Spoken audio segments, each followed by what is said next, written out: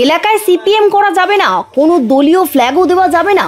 তৃণমূলের পার্টি অফিসে নিয়ে গিয়ে এক সিপিএম নেতাকে হুমকি দেওয়ার অভিযোগ উঠল, যদিও এই অভিযোগ অস্বীকার করেছে শাসক দল তৃণমূল। পঞ্চায়েত ভোটের আগে হুমকির রাজনীতি শুরু। এবার এক সিপিএম নেতাকে পার্টি অফিসে নিয়ে গিয়ে পার্টির কাজ করতে বারণ করার হুমকি, এমনকি প্রাণী মারার হুমকির অভিযোগ উঠল তৃণমূল নেতৃত্বর বিরুদ্ধে।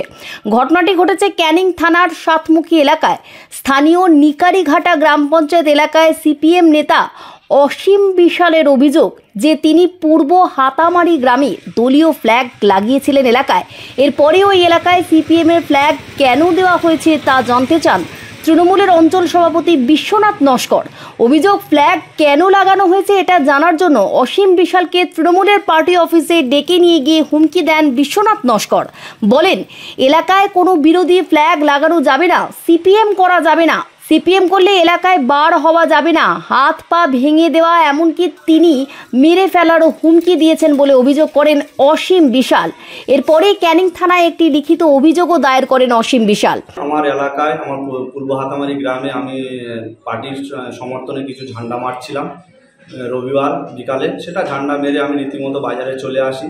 পরের দিন সকাল, সকালবেলা আমি বাজারে আসি এবং বাজারে আমার একটা সিএসপি পয়েন্ট আছে, সেই পয়েন্ট আমি খুলি। তারপরে হঠাৎ আমাকে, আমার কাছে খবর এলো যে তুই ঝান্ডা মারতে গিয়েছিলিস, তোর মারধর করা হবে। কে মারবে? না, তৃণমূলের অঞ্চল সভাপতি বিশ্বনাথ নস্কর তা আমি ঠিক আছে, মারবে, আমাকে মারতে আসুক, আমি এখানে বসে আছি। হঠাৎ কিছুক্ষণ পরে লোক পাঠিয়ে আমাকে পার্টি অফিসে ডেকে পাঠায়। আমি পার্টি অফিসে রীতিমতো যাই। যাওয়ার পরে উনি আমাকে অকথ্য ভাষায় গালাগালি করে করার পরে আমাকে বলল যে এখানে বিরোধী করা যাবে না। বিরোধী করলে তোর মেরে ঠ্যাঙাত পা ভেঙে দেওয়া হবে। আর এলাকায় যেখানে কোথাও তুই যেতে পারবি না। কারণ তুই কোথাও গেলে আমরা যদি জানতে পারি তোকে মার্ডার করা হবে।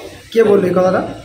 তৃণমূলের অঞ্চল সভাপতি বিশ্বনাথ নস্কর আর কে ছিল সাথে ওর সঙ্গে ছিল আমাদের আমাদের পূর্ব হাতামারি গ্রামের তৃণমূলের বুথ- স্তরের সদস্য হাজিবুর মোল্লা ছিল আরও ছিল আমাদের ওখানে সম্ভাব্য প্রার্থী হিসাবে দাঁড়ানোর একটা কথা শুনেছি, জাকির মোল্লা, তাদের বাড়ির ছেলেপুলে ছিল।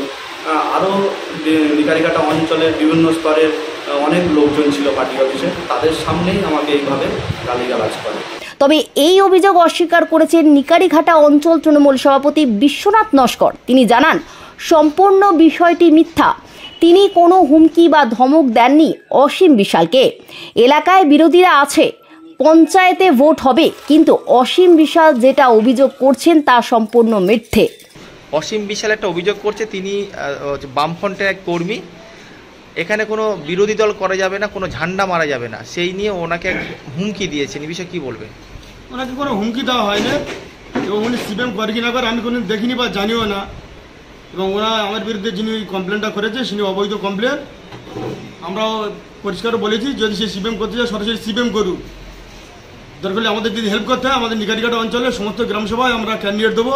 বিরোধীরা যদি না ক্যান্ডিডেট দেয়, যদি আমাদের সঙ্গে যোগাযোগ করে, আমরা প্রত্যেকটা গ্রামসভায় বিরোধীরা যে দলের হয়ে নমিনেশন করে আমরা নমিনেশন করে, আমরা গণতান্ত্রিক পদ্ধতিতে ভোট করে আমরা অঞ্চল যাতে ক্ষমতা আসে অঞ্চল যাতে যেতে সেই চেষ্টা আমরা ওনার আরও দাবি যে আপনি মেরে ফেলার হুমকি দিয়েছেন সম্পূর্ণ। মিথ্যা অভিযোগ ভিত্তিহীন অভিযোগ। ওরকম কোনো কথা বলা নেই ঘরে ওদের একশো লোক ছিল। সবাইকে যদি ডাকা হয় বা এখানে যারা আছে তাদের থেকে কোনো স্টেটমেন্ট নেয়। এখানে যা লোক ছিল এই লোক অনেক লোক ছিল কালকে। ইতিমধ্যে অসীম বিশালের অভিযোগের ভিত্তিতে এই ঘটনার তদন্ত শুরু করেছে ক্যানিং থানার police. Bureau report One India Bangla.